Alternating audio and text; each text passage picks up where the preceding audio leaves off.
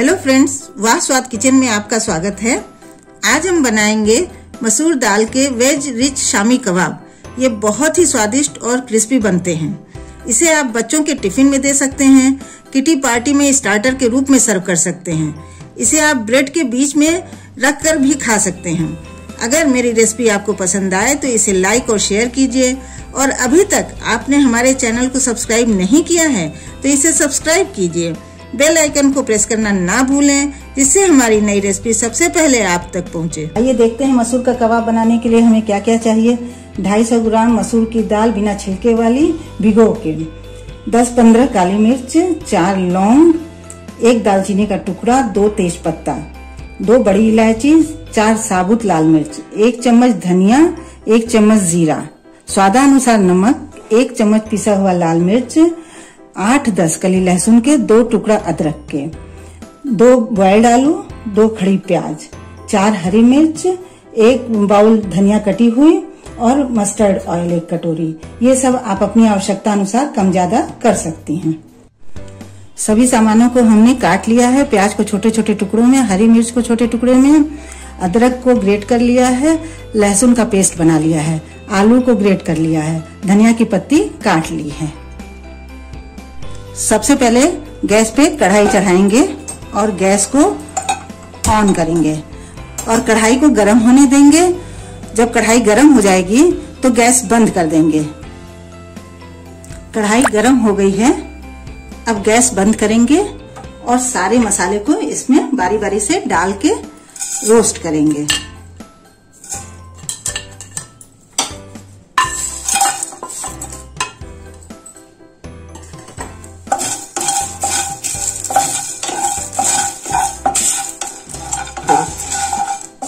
मसाले रोस्ट हो गए हैं।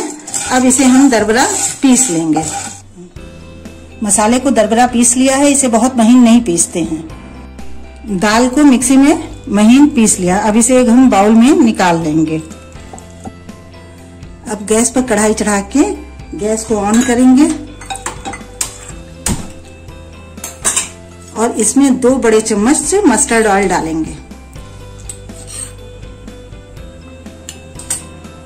जब तक ऑयल गर्म हो रहा है, तब तक इसमें हम मसूर की दाल में एक कप पानी डाल के इसका घोल बनाएँगे और स्वादानुसार थोड़ा नमक डाल देंगे। और पिसी हुई लाल मिर्च को डाल देंगे। और अच्छे से मिला के इसका घोल तैयार कर लेंगे। ऑयल गरम हो गया है।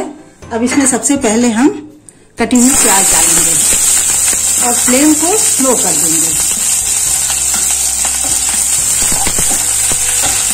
फिर हरी मिर्च डाल देंगे और ग्रेट की हुई अदरक डाल देंगे। और लहसुन का पेस्ट डाल देंगे। सबको झिलमिल होने तक फ्राई करेंगे।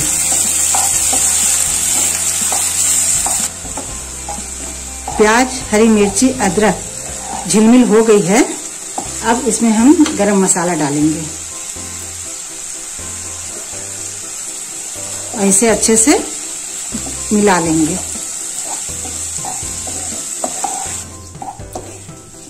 प्याज झिलमिल हो गई है।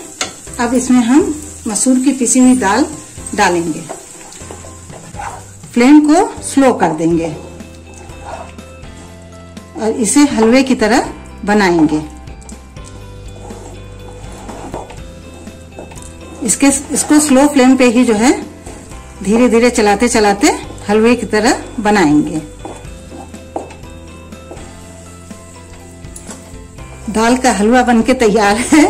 अब इसे हम ठंडा होने देंगे, फिर इसकी टिकिया बनाएँगे। दाल ठंडी हो गई है। अब इसमें हम आलू मिलाएँगे।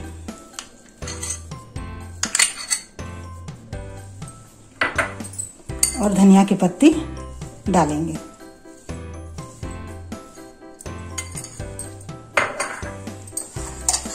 और अच्छे से फिर इसको मिलाएँगे। नमक को हमने पहले ही मिला लिया है और सारे मसाले भी मिला दिए हैं।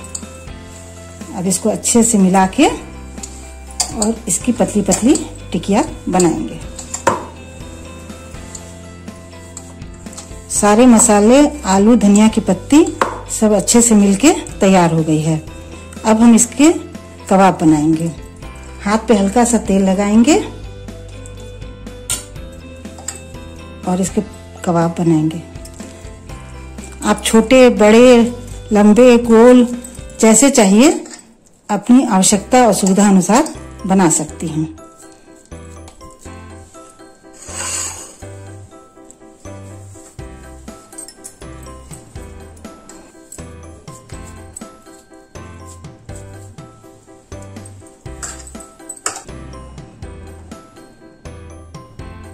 कबाब बन के तैयार हैं। अब इसको हम सेकेंगे। गैस पे फ्राई पैन चढ़ा के गैस ऑन कर लिया है। अब इसमें मस्टर्ड ऑयल डालेंगे और उसे गर्म होने देंगे। इसमें ऑयल बहुत ही कम लगता है। इसे आप देशी घी में भी बना सकते हैं। इससे इसका अरोमा और स्वाद बढ़ जाता है। ऑयल गर्म हो गया है। अब इसमें हम कबाब को धीमे धीमे डालेंगे। और फ्लेम को स्लो रखेंगे।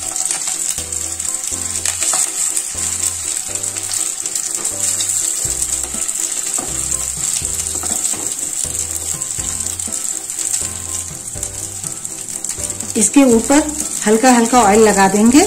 जब नीचे से ये सीख जाएगा, तब इसे पलटेंगे। अब इसे पलट कर देखते हैं कि ये पीछे से पका है कि नहीं। हाँ गुलाबी गुलाबी सिक गया है। इसी तरह से सारी टिकिया को पलट लेंगे और हल्का सा दबा देंगे। अब दूसरी साइड सीखने के लिए इसमें हल्का हल्का किनारे किनारे से ऑयल डाल देंगे। ताकि नीचे भी अच्छे से कुरकुरी कुरकुरी सीख जाए।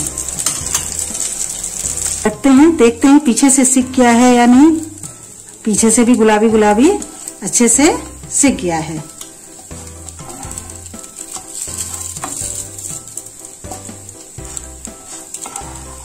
सारे कबाब अच्छे से सीख गए कबाब अच्छे से सीख गए हैं। अब इनको हम प्लेट में निकालेंगे।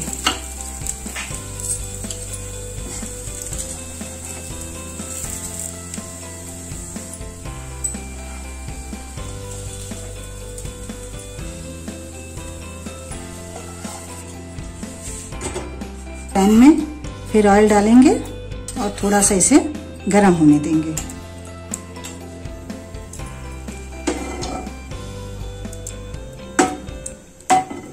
ऑयल गर्म हो गया है। अब फ्लेम को स्लो करेंगे और और टिकिया डालेंगे।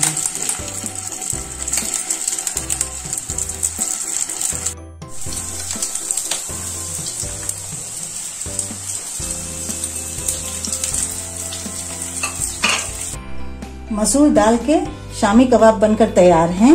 ये खाने में बहुत ही स्वादिष्ट होते हैं। आप गेस्ट के सामने आम और पुदीने की चटनी के साथ और सिरके वाली लच्छेदार प्याज के साथ सर्व कर सकती हैं। ये सभी को बहुत पसंद आएगा।